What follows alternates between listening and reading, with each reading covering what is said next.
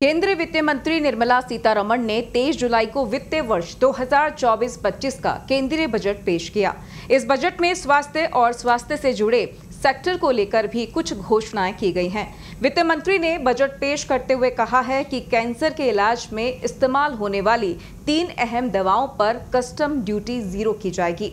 सरकार के इस कदम से कैंसर के इलाज में मरीजों को बड़ी छूट मिलेगी। इसके अलावा कैंसर के इलाज में इस्तेमाल होने वाली दवाएँ और मेडिकल उपकरण भी कम दाम पर मिल पाएँगे।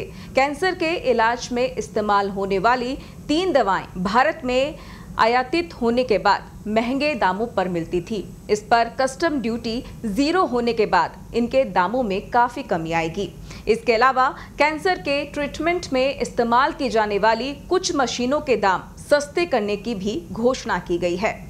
सरकार ने बजट में मेडिकल रिसर्च को बढ़ावा देने के लिए अलग से फंड देने की बात कही है। इस साल के बजट में सरकार ने नौ प्राथमिकताओं के बारे में बात की, लेकिन इसमें हेल्थ केयर सेक्टर शामिल नहीं है।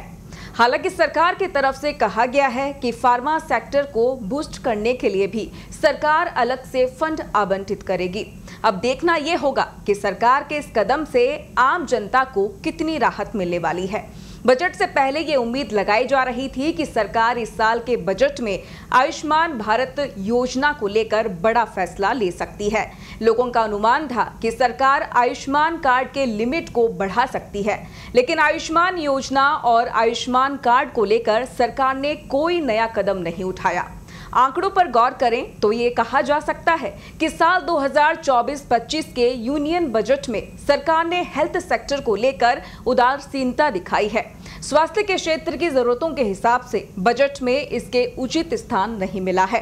साल 2017 की नेशनल हेल्थ पॉलिसी के साल 2024-25 तक हेल्थ सेक्टर पर जीडीपी का 2.5 प्रतिशत खर्च करने के टारगेट सेट किए गए हैं। इस टारगेट के मुताबिक देश का हेल्थ बजट इस साल तीन दशमलव तीन लाख करोड़ रुपए होना चाहिए था। लेकिन इस साल बजट में सिर्फ़ इक्यानवे हज़ार करोड़ रुपए ही हेल्थ सेक्टर को आवंटित किए गए। ये हेल्थ सेक्टर की ज़रूरत का सिर्फ़ सताइस प्रतिशत ही है।